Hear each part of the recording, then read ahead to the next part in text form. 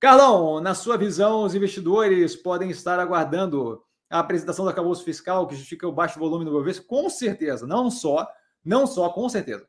Não só aguardando o arcabouço fiscal, mas assim, você não tem só um momento de espera. Você tem um momento de espera com belicosidade do executivo, é, tensão econômica global, porque toda, se toda vez que um banco quebra, as pessoas começam a jogar em matéria crise bancária, crise bancária, será que agora afunda? Será que é recessão global? E blá, blá, você começa a gerar mais tensionamento, certo? Então você tem é, tensionamento econômico global no Brasil, você tem é, fala belicosa do governo consistentemente, com pitadas de insanidade, como aquela coisa ali com, com o Moro dizer que ele inventou o negócio do PCC.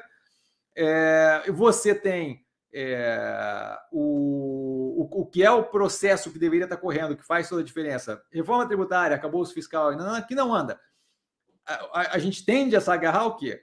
A, a minha, minha, minha, tomada de decisão, tem essa queda toda, esse movimento todo que tem tido, já é gente tomando decisão sem esperar a informação em si. Aquilo ali é pânico generalizado. Mas você tem a queda do volume, porque tem uma quantidade de pessoas que estão justamente nesse aguardo.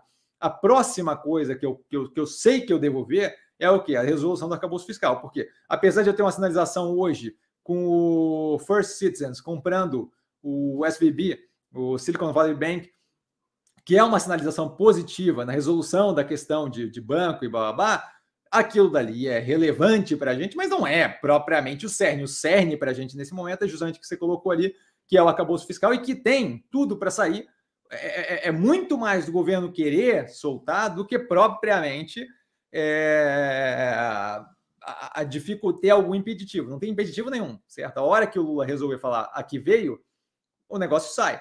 É que eu acho que tem um interesse muito grande de querer empurrar na marra um negócio mais frouxo e não estão conseguindo. Já viram que o Congresso está na direção contrária também.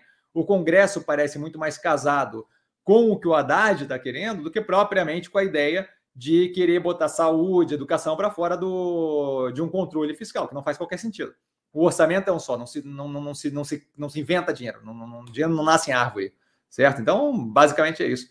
Tá? Espero ter sido claro.